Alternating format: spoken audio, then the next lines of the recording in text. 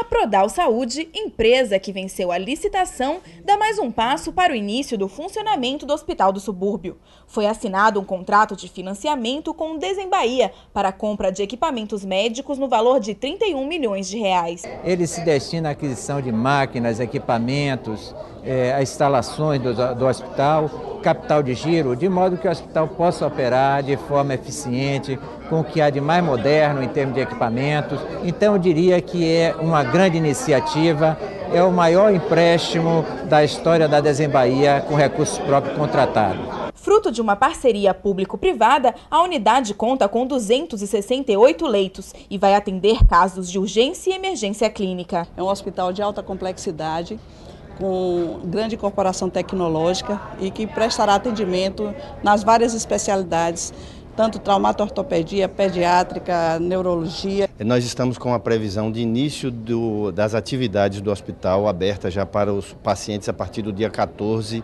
é, de setembro. E ele vai iniciar o cronograma com 50% da sua capacidade. É, conforme previsto no contrato, com mais 90 dias nós é, chegamos a 85%.